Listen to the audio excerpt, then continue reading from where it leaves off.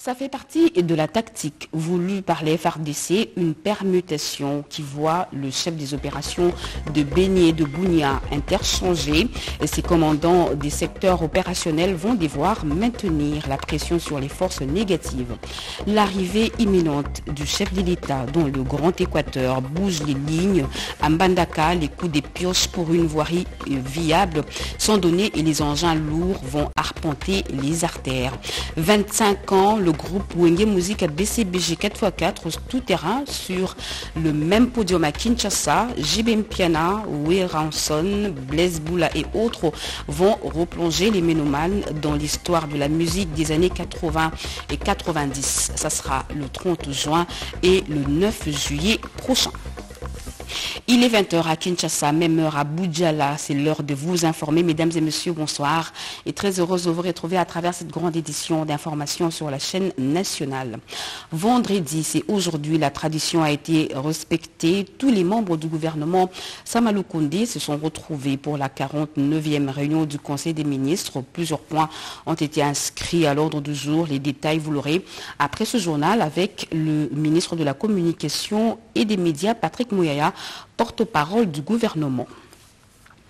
Le dossier M23 sur la table des discussions ce vendredi à la Cité de l'Union africaine entre le chef de l'État, Félix Antoine Tshisekedi Chulombo et une délégation de l'ONU, le représentant spécial du secrétaire général des Nations Unies dans les Grands Lacs, l'a affirmé, affirme avoir euh, reçu du président de la République les éléments nécessaires pour mieux exposer la situation au prochain Conseil de sécurité. Patrick Michel Moukoui. La fine pluie de la matinée de ce vendredi venait à peine de s'arrêter quand Bintou Keïta, à la tête d'une délégation, s'est présentée au bureau du chef de l'État Félix Antoine Tshisekedi. La représentante spéciale du secrétaire général des Nations Unies en RDC a accompagné au cabinet du président de la République deux diplomates nouvellement accrédités à Kinshasa, dont l'un, nouveau représentant spécial adjoint du secrétaire général des Nations Unies en RDC qui a présenté ses lettres de créance, et l'autre, coordonnateur résident et humanitaire de la même organisation qui a présenté ses civilités au garant de la nation congolaise. Mais le point d'orgue de la rencontre avec le président de la République, c'est cet échange autour d'une question cruciale de l'heure, le dossier M23. L'envoyé spécial du secrétaire général des Nations Unies pour la région de Grand Lac, qui a pris part à la discussion, justifie son intérêt sur la question par sa prochaine communication au Conseil de sécurité du 27 avril. Le président nous a donné euh, son analyse sur euh, ce qui s'est passé et notamment euh, les conclusions, les décisions du dernier mini-sommet à, Nairobi. Et j'ai recueilli auprès de lui une analyse très éclairante et des conseils de très haute qualité.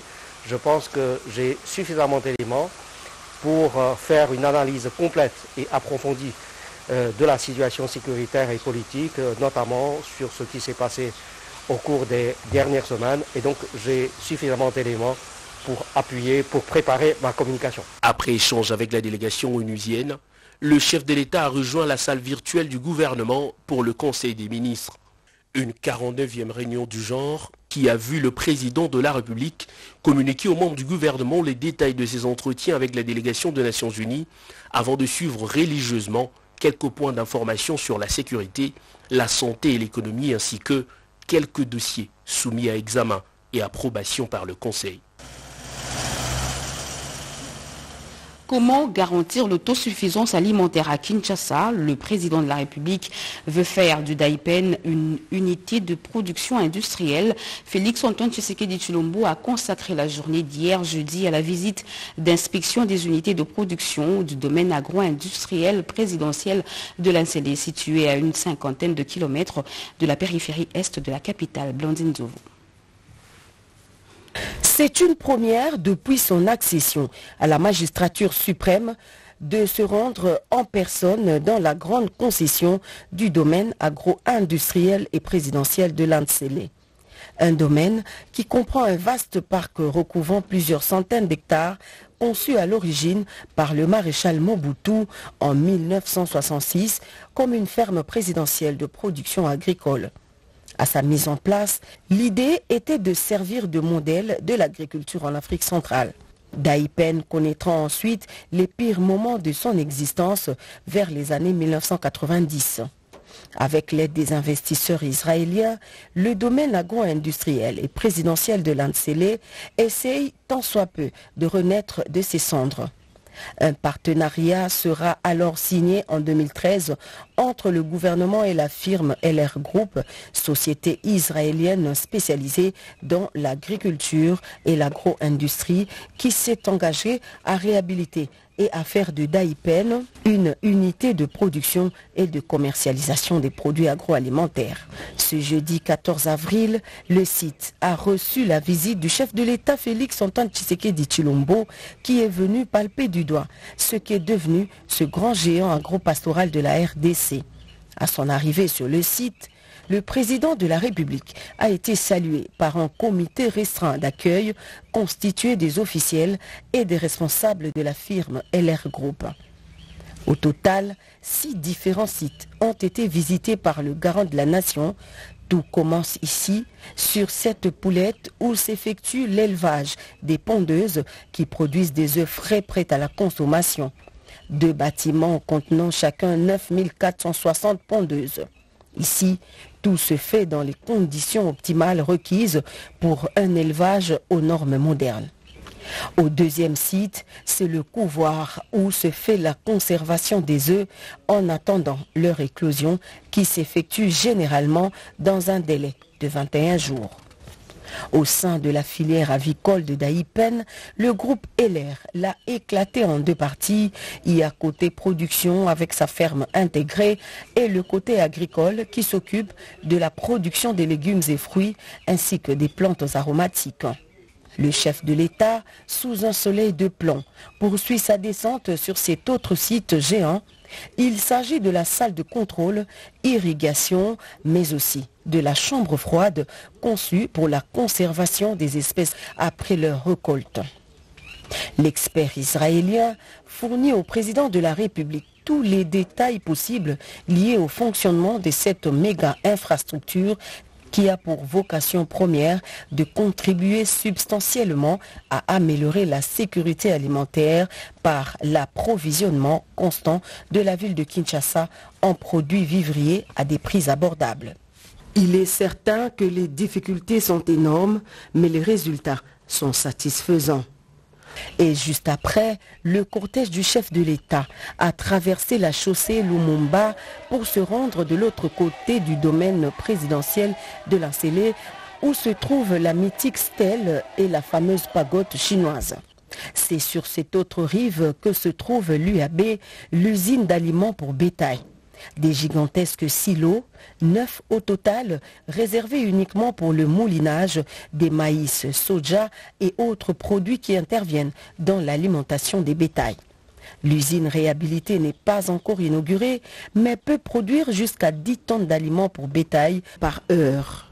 Ce tour du propriétaire a permis au chef de l'État de se rendre personnellement compte des conditions de travail de Daipen et surtout du niveau de spoliation de cet espace public destiné à la culture maraîchère. À son passage sur chaque site, le président de la République a été ovationné par le public et les travailleurs locaux dont la rémunération est en inadéquation avec leur implication dans la chaîne de production. Ils sont au total 380 agents qui ont reçu du chef de l'État la promesse d'améliorer leurs conditions salariales. Commencé vers 14 heures, c'est au coucher du soleil au bord du majestueux fleuve Congo que le président de la République a bouclé cette longue visite. C'est dans ce bâtiment, au son de caquettement des volailles, que se trouve l'abattoir une chaîne rotative qui part du déplumage à la conservation en passant par le nettoyage et la chaîne de froid où se fait la conservation des poulets destinés à la vente au public. Dans la suite du chef de l'État, il y avait son directeur de cabinet, Glenn Mboumbouizia, et le conseiller principal au collège planification, agriculture, pêche et élevage, l'ingénieur Ambroise Kazumba Mukinaï. Côté gouvernement, Il y avait le ministre de la Communication et Médias, porte-parole du gouvernement Patrick Mouyaya Katembwe et son collègue du tourisme Moderon Simba. Plusieurs autres officiels ont accompagné le président de la République, Félix Antoine Tshisekedi Chilombo, dans ce vaste domaine de l'Incélé. La tenue des États généraux des mines en République démocratique du Congo, l'une des 15 recommandations faites à la ministre des Mines par la sénatrice Victorine Leucé, auteur de la question orale avec débat au cours de la plénière d'hier, présidée par Modeste Bat Lukwebo, plénière qui a aussi auditionné deux membres du gouvernement central et le directeur général intérimaire de la régie des Olotou dans ce condensé signé Gelor Kimpianga. Véritable moisson législative au Sénat où les élus des élus ont voté à l'unanimité trois projets de loi en seconde lecture. Le Sénat vote ce projet de loi. Mes sincères félicitations, ces trois projets de loi vont être transmis au président de la République pour promulgation. D'entrée de jeu, la plénière de jeudi présidée par Modeste Bahati Lukwebo a connu un débat ponctué par deux motions d'information. Il s'agit d'abord de celle du sénateur Omba qui a mis au courant ses collègues de la situation qui prévaut à la prison de Mandaka où les prévenus meurent sans être jugés faute d'une bonne prise en charge. Une autre motion d'information, c'est celle du sénateur Célestin Vounabandi qui a informé la plénière de la situation des déplacés de guerre à Routourou fouillant les combats entre les éléments du M23 et les forces loyalistes.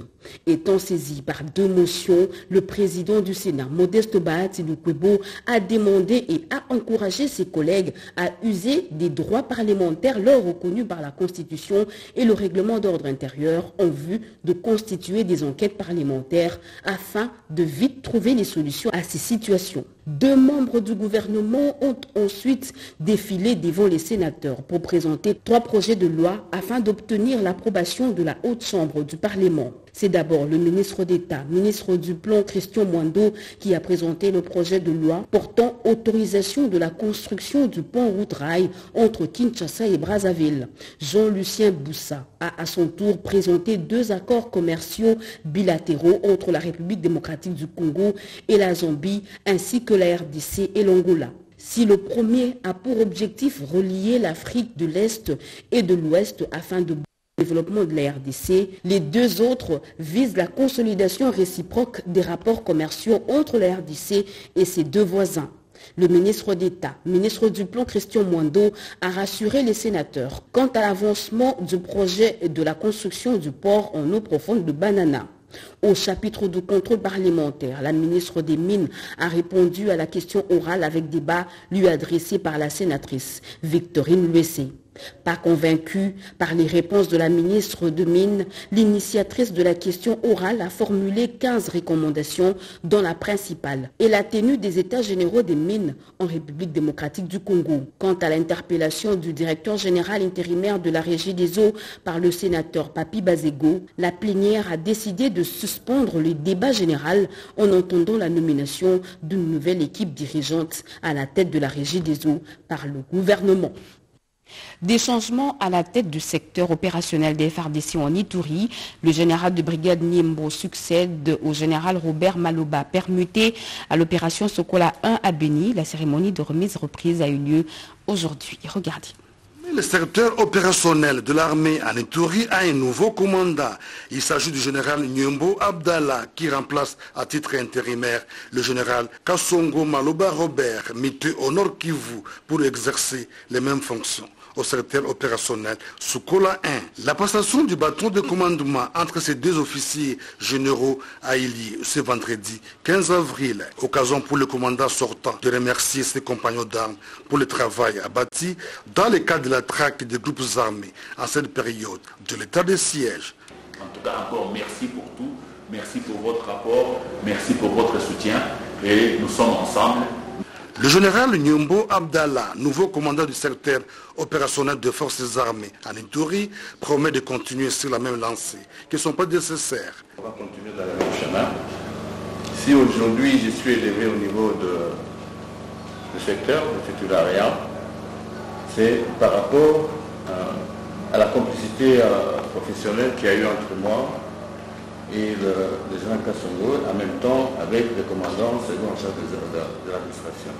Au coordonnateur de la mutualisation de forces RDC Ouganda et a présidé la cérémonie de remise et reprise au nom du chef d'état-major général d'appeler les deux officiers généraux à poursuivre la collaboration pour la réussite des opérations conjointes. Au nom du chef d'état-major général qui a reçu les instructions du commandant suprême pour opérer ces changements, je vous remercie vous tous pour avoir œuvré dans la cohésion dans la transparence et dans le dévouement de la réussite.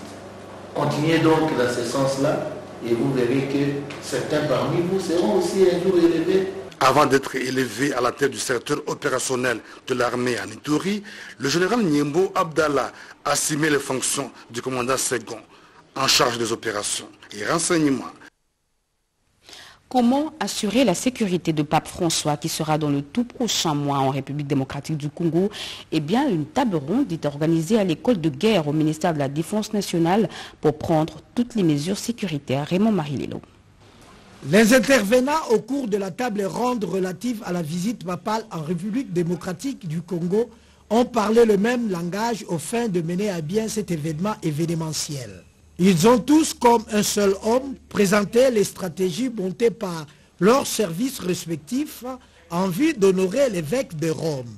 Pour les phares d'essai, la sécurité sera renforcée dans le but d'éviter les aléas pendant ces jours festifs, car les hors-la-loi sont toujours mal intentionnés. Ils cherchent toujours les événements de cette envergure pour perturber l'ordre établi. Le carquois est déjà rempli pour bouter hors d'état de nuire tout celui qui se perdra en conjecture. La police nationale congolaise a abondé dans le même sens. Elle ne jure que sur la réussite tous azimuts du séjour pontifical. Et elle est déjà à pied d'œuvre. La radio-télévision nationale congolaise a rassuré toutes les parties prenantes de son apport, car elle est l'instrument au service de la République démocratique du Congo. Elle a déjà pris toutes les dispositions pour que cet événement soit diffusé à travers le monde, a dit le représentant du DG Belide Bunga Nvindu.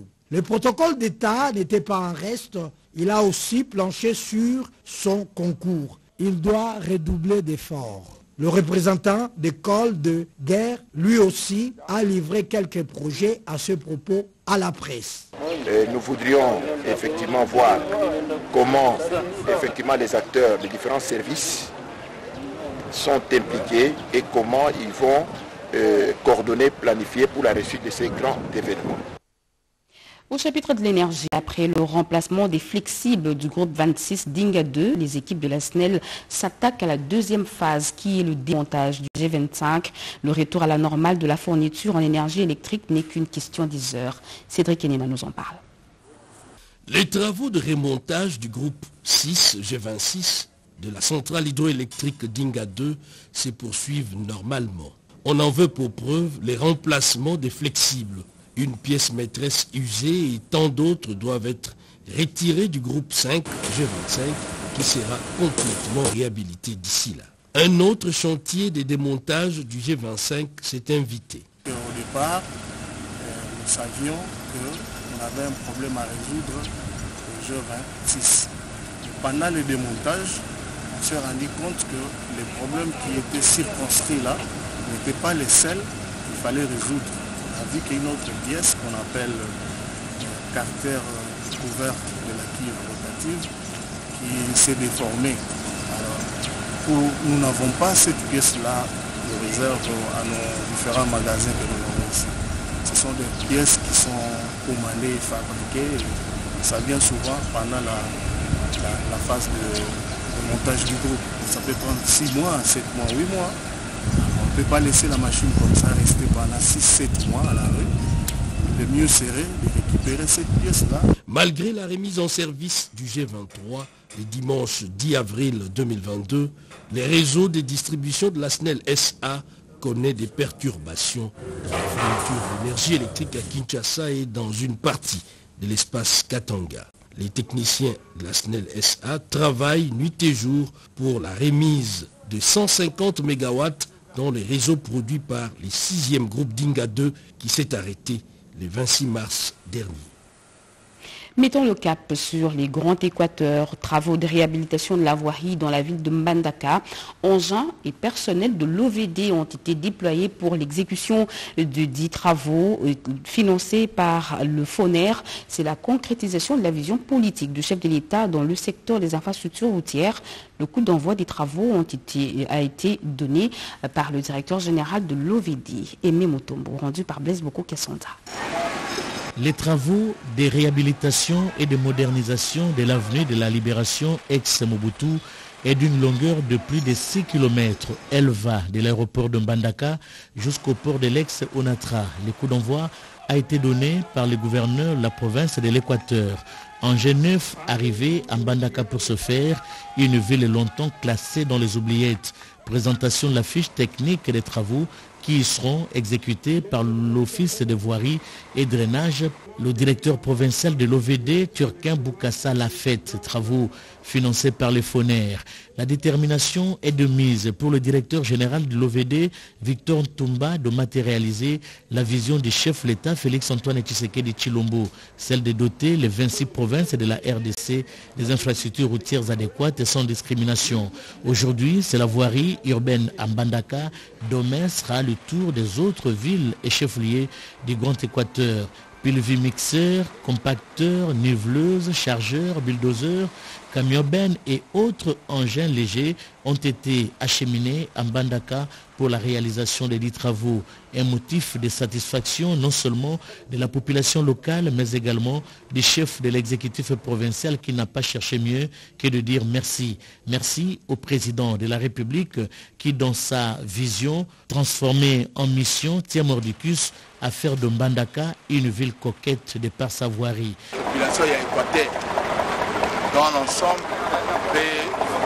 Je m'adresse à la population de l'Équateur dans l'ensemble, celle de Mbandaka. Eux-mêmes voient comment les choses se concrétisent. Fini les doutes, fini les bavardages. Les mains du chef de l'État sont visibles sur le terrain. Nous lui disons merci.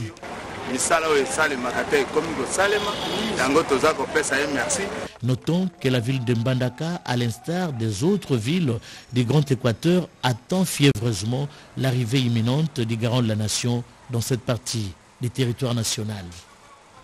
Le dispensaire de la radio-télévision nationale congolaise fera bientôt peau neuve. Une délégation des Congolais vivant à l'étranger l'a visité et a promis au, directeur général euh, intérimaire de ce média euh, public de s'impliquer pour équiper ce dispensaire en médicaments et autres produits. Diane Balaka. Dans le cadre du partenariat public-privé, un accord de partenariat dans le domaine de la santé, plus précisément dans la cardiologie, a été signé entre la radio-télévision nationale congolaise et le 4 ASBL, e Fondation de Congolais vivant en Europe. Il s'agit de la Fondation Mapendano, Tatete, Muungu et. La délégation des responsables de ces fondations a été reçue par le directeur général AI de la RTNC Robert Belide Bunga. Question d'échanger sur la concrétisation du deux partenariat. Au nom de la délégation, Dr Tatete explicite le projet. Nous avons été reçus, malgré l'emploi du temps du DG de la RTNC, afin de discuter d'un projet qui a trait dans l'ADN même de, notre, de nos associations respectives sociales. Et ici, euh, le DG nous a fait comprendre qu'il y avait à Kinshasa plus de 2000 agents et plus de 3000 familles qui travaillent à la SNC. Et nous voulons proposer euh, un partenariat dans nos domaines qui nous concernent, à savoir, euh, grâce à l'autorisation du DG, de collaborer en ce qui concerne la clinique de la RTNC et de permettre d'aider et de relever, rééquiper et moderniser la clinique de la RTNC selon les besoins dont euh, leur directeur, médecin directeur va nous soumettre et qui nous permettra d'avoir cette collaboration. Après l'audience, la délégation a visité la polyclinique de la RTNC conduite par le médecin directeur, Dr Kassereka. La délégation a visité tour à tour la salle de consultation, le laboratoire et la salle d'opération. À l'issue de la visite, Dr Tatete a décidé de réhabiliter le bloc opératoire de cette polyclinique de la RTNC. La province du Maniema a frappé dernièrement par un gigantesque incendie qui a tout ravagé sur son passage et laissant derrière lui 182 ménages qui passent la nuit à la belle étoile. Le gouvernement central vient à la rescousse de ces victimes. Une équipe du ministère des Actions humanitaires dépêchée sur place est allée remettre un lot des vivres et non-vivres. Rodi Panda. Il s'agit d'une première assistance multisectorielle constituée d'un lot important de matériaux de construction, notamment les ciments, les tôles et les clous, les outils de ménage, parmi lesquels des matelas, des étoffes de pain de wax, de l'huile végétale, des sacs de sel de cuisine, des sacs de haricots, les bidons vides, des bassins et des casseroles. C'est une assistance du gouvernement central destinée aux 182 ménages victimes des conflits ethniques survenus à Dans les territoires de Pangui. Dans le domaine de l'éducation, un kit scolaire constitué de sacs et accessoires seront dotés aux enseignants et élèves. Un lot de médicaments est prévu également pour soigner les victimes de ces atrocités. L'équipe du ministère des Affaires sociales et Actions humanitaires, conduite par Boké Levava, directeur des actions humanitaires au secrétariat général du ministère des péchés au Maniema, a procédé ce vendredi 15 avril 2022 à la remise symbolique de ces dons au gouverneur intérimaire d'Imaniema, Afani Idriss Mangala. C'était en présence de l'inspecteur de l'IGF. Transparence oblige. Le gouverneur intérimaire Afani Idriss Mangala a remercié le chef de l'État Félix Antoine Tshisekedi Chilombo pour ses gestes salutaires en faveur de sa population. Le chef de l'exécutif provincial du promet de descendre personnellement à Kayoudou pour remettre cette assistance du gouvernement central aux 182 ménages ayant été identifiés par les services des actions humanitaires.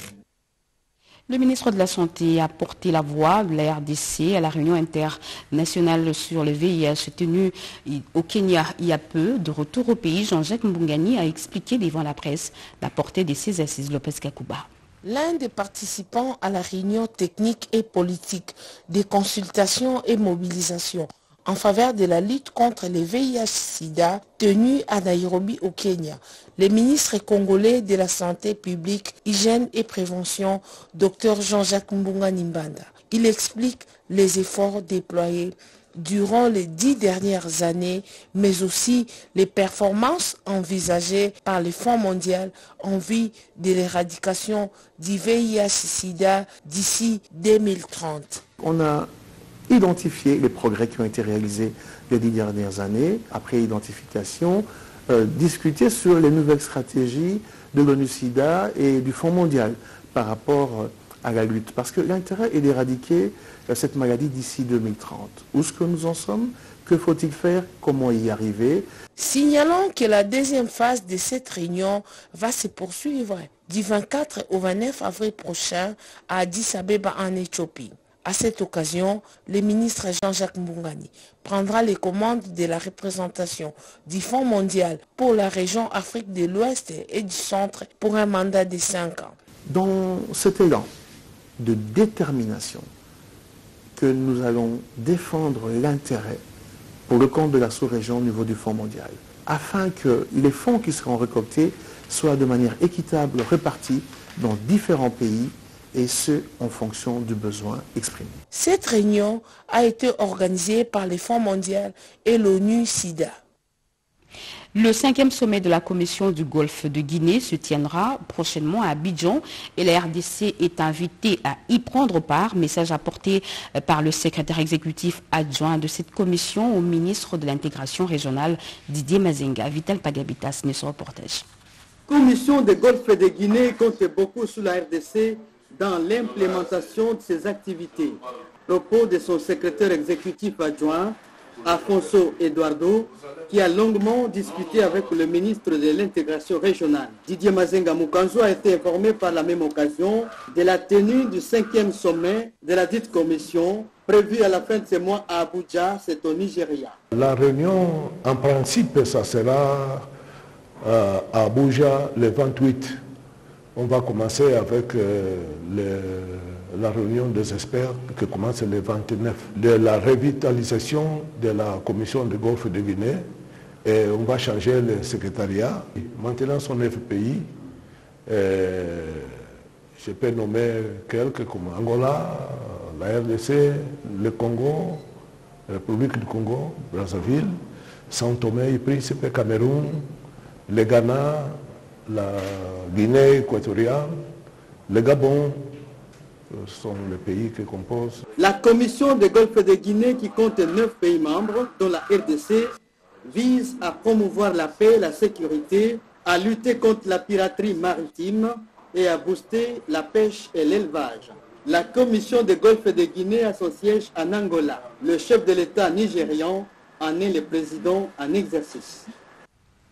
Rendons-nous à présent à Paris en France où s'est tenue la cinquième édition du Salon socio-économique congolais. Les détails avec Willy Atonakov. La coopération socio-économique et culturelle entre d'une part la diaspora des deux Congo et la France d'autre part est au beau fixe. Voilà qui justifie la tenue les 16 et 17 avril prochains à Paris en France de la cinquième édition du Salon socio-économique et culturel congolais dénommé Congo na Paris. Objectif connecter la diaspora de l'Europe aux deux Congos voisins, considérés comme poumons écologiques de la planète. Et cela à l'initiative de la présidente de cette structure, Charlotte Kalala, avec l'accompagnement de l'ambassade de la République démocratique du Congo en France. Il s'agit d'une plateforme incontournable et du premier salon socio-économique et culturel congolais en Europe qui présente un autre regard de l'Afrique centrale en général et de la RDC en particulier. Congo na Paris est aussi un rendez-vous des amoureux de la culture qui révèle au monde entier le meilleur visage du Congo démocratique.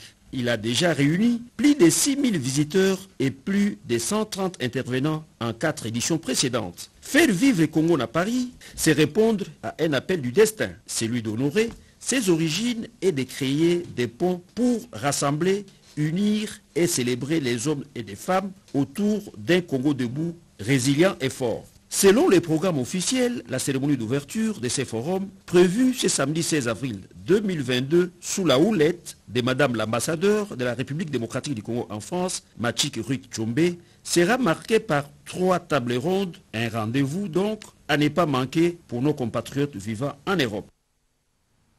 Elle plaide pour la promotion de la femme au sein des institutions du pays. Les femmes du cadre de réflexion et d'action des femmes entrepreneurs, CRAFEL, étaient aujourd'hui chez la ministre du Genre, Famille et Enfants, Gisèle Ndaya, Nadine Yango. Pour matérialiser la vision du chef de l'État, Félix-Antoine Tshisekedi Chilombo, sur l'autonomisation de la femme congolaise, les cadres de réflexion et d'action des femmes entrepreneurs ou leaders, CRAFEL, vient d'organiser une journée d'échange avec les femmes de toutes les couches sociales du pays envie de les outiller sur l'entrepreneuriat et l'autonomisation. Cette matinée d'échange de procédés a connu la participation de la ministre du Genre, Famille et Enfants, Madame Gisèle Ndaya. Aujourd'hui, euh, le levier même du développement, aujourd'hui, je vous rassure que c'est la femme. Parce que si la femme, est formée, si la femme est informée, et si la femme est sur terrain, je crois qu'il y a beaucoup de choses qui vont changer. La présidente du CRAFEL, dans son speech, a exhorté les femmes congolaises à quitter les domaines de l'amatérisme pour embrasser celui du professionnalisme et l'entrepreneuriat et les domaines par excellence pour la femme. Nous lançons cet appel à toutes les femmes qui ne se sont pas encore lancées dans une activité autre ou qui font déjà des activités mais n'ont pas une vision bien éclairée dans leurs activités de pouvoir euh, emboîter les pas de femmes au sein de l'association dénommée CRAFEL pour qu'ensemble nous puissions changer l'économie du pays. Les cadres de réflexion est une association qui regroupe les femmes de toutes tendances et existe dans plus de cinq provinces de la République démocratique du Congo. Si les femmes de Grafel sont allées voir la ministre du Genre, les femmes de plusieurs organisations de la société civile étaient à la commission des droits de l'homme de l'Assemblée nationale. Aujourd'hui, sont allées plaider pour la révision de l'article 13 de la loi électorale pour favoriser l'accès de la femme à la vie politique. Nadine Toto, Emmanuela Commissaire. La prise en compte de la parité dans la loi électorale en conformité avec l'article 14 de la Constitution lors de l'examen de la réforme en cours doit intégrer une dimension contraignante dans l'établissement des listes de partis politiques. Une démarche menée ce jeudi 14 avril 2022 par le consortium des organisations de la société civile et quelques partis politiques sous l'égide de la structure Affirmama à travers le groupe de plaidoyer Voix et leadership de femmes auprès de la Commission des droits de l'homme de l'Assemblée nationale. Cette question a déjà été tranchée par la Constitution qui demande qu'il y ait parité. Maintenant, la mise en œuvre de cette parité peut prendre des étapes. Nous considérons que la présente loi électorale qui est en vigueur a tenu compte d'une réalité en disant 30% des femmes. Alors le minimum serait qu'on puisse mettre ces 30% comme une condition de recevabilité la parité n'est pas l'apanage de femmes ou de hommes, mais une affaire de la nation qui a ratifié plusieurs conventions internationales relatives à cette question.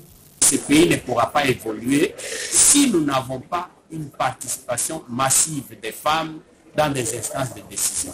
En fait, ce combat, ce n'est pas un combat des femmes, c'est un combat de la nation. La RDC a été parmi les tout premiers pays africains et même au niveau mondial à adopter des textes dans ce sens.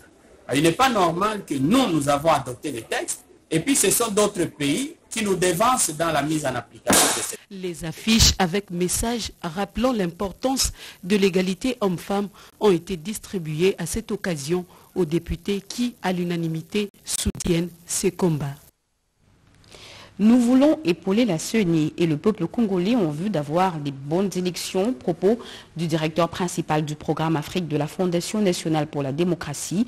Il a dit au président de la CENI, Denis Kedima, Kazadi, au cours d'une audience lui accordée Tidi Vempoudi.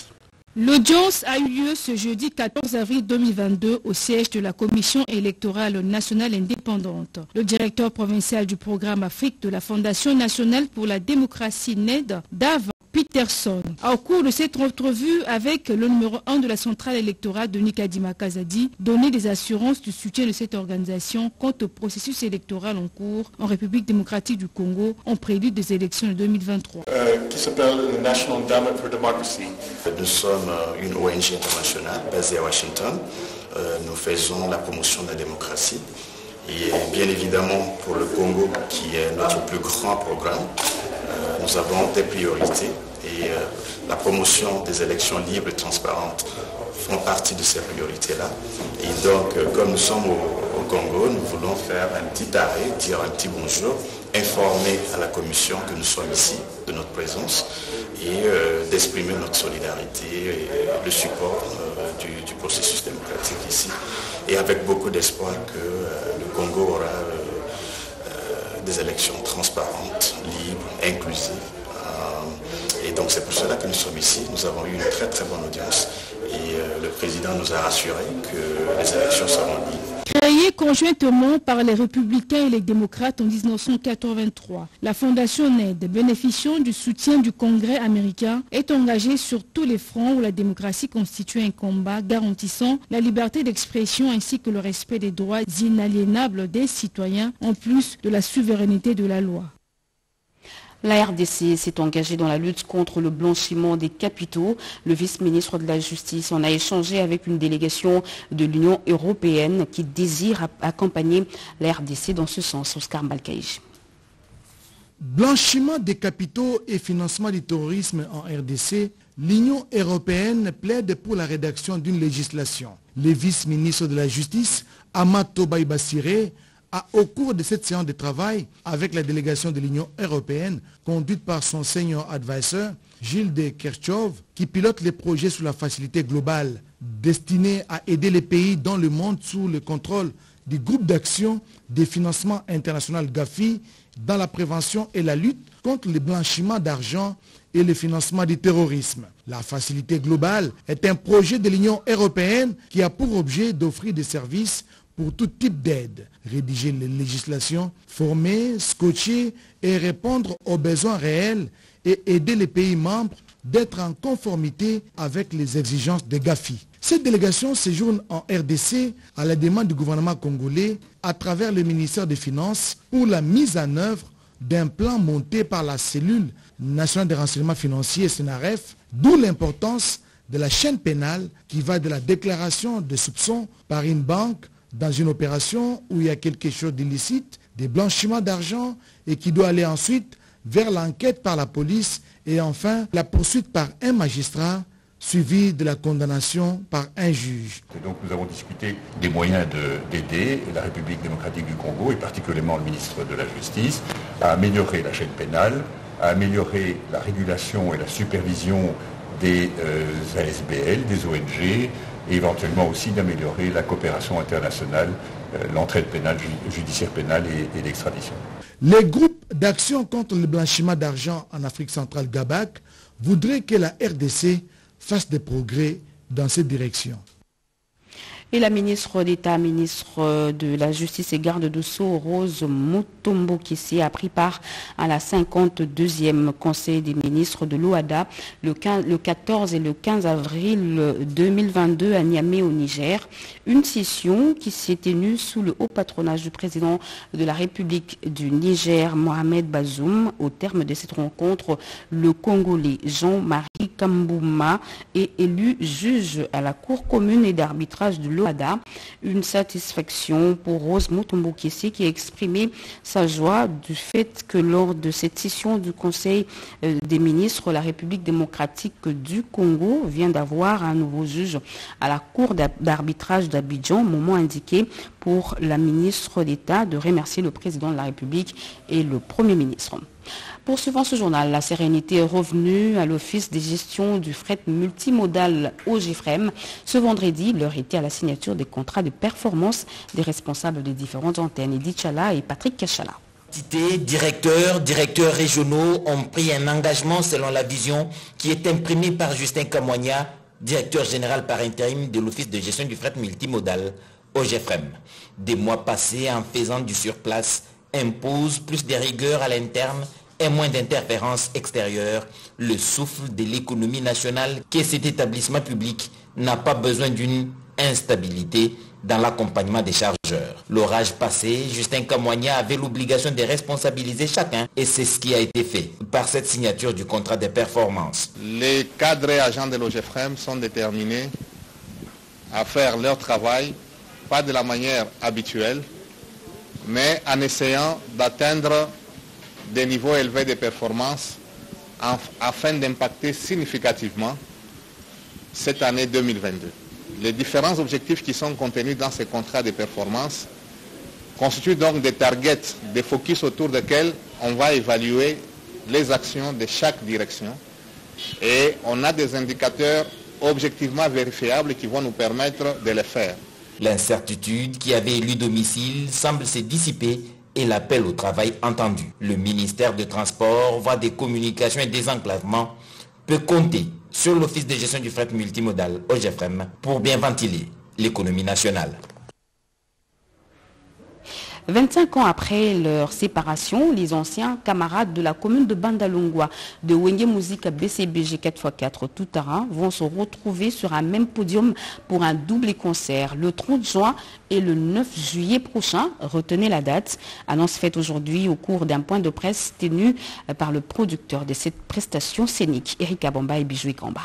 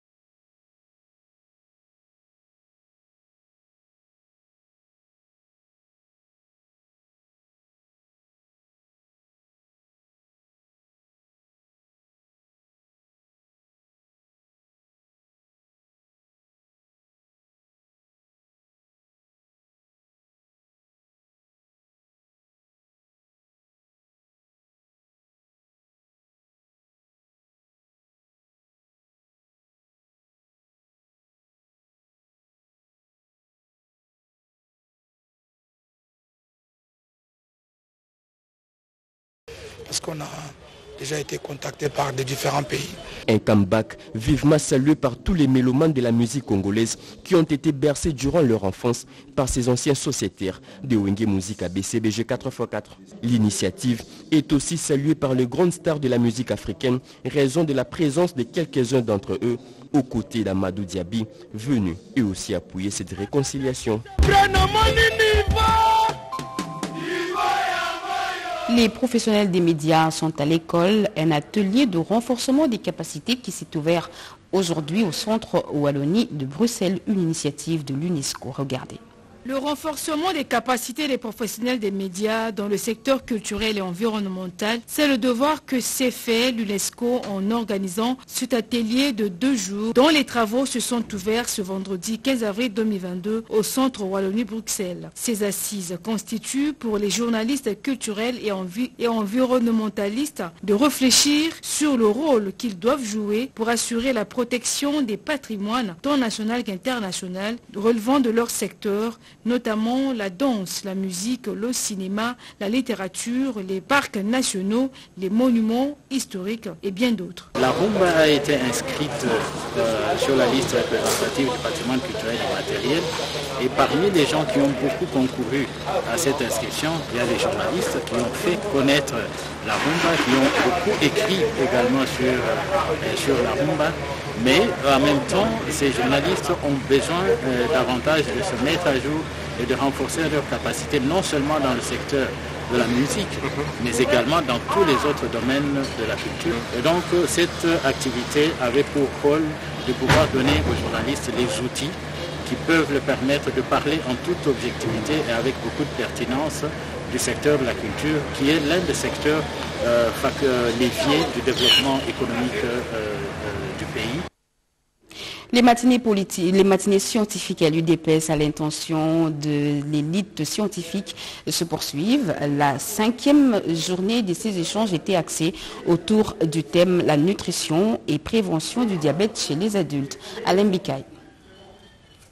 La malnutrition et le diabète font partie des problèmes de santé publique en République démocratique du Congo. Cette question était au centre de la cinquième journée des matinées scientifiques des corps de l'élite scientifique de l'IDPS dénommée Science au service du peuple. Le professeur Ignace Balo Akalogi, nutritionniste et docteur en santé publique, s'est penché sur les sous-thèmes nutrition et prévention du diabète chez les adultes. Selon Balo un repas équilibré, diversifié et les exercices physiques sont une prévention contre cette maladie et la malnutrition. Il faut manger les aliments qui sont produits chez nous. Nous devons éviter d'imiter l'alimentation des Blancs. On doit manger tous les aliments qui sont produits chez nous. Je pense que ça peut nous aider à éviter l'obésité ou les surpoids qui peut nous exposer à développer le diabète de type 2. Pour combattre la malnutrition en République démocratique du Congo, ces cadres du parti présidentiel proposent que l'agriculture soit une priorité dans le cadre du projet de développement de 145 territoires. Nous, nous pensons que si on retourne à la terre,